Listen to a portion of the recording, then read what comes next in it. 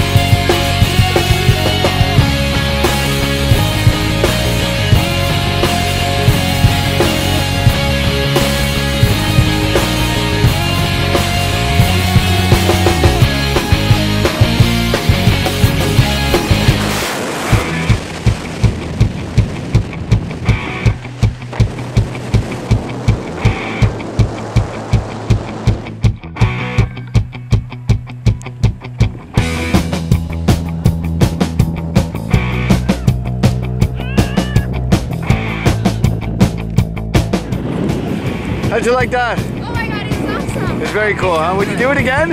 Yeah, like a hundred times. Even with him? Sure, why not? All right, congratulations. Nice guy of you too. Thanks for letting me tag along. I didn't freak out, did I, Billy? No, good job, Paul. Good job.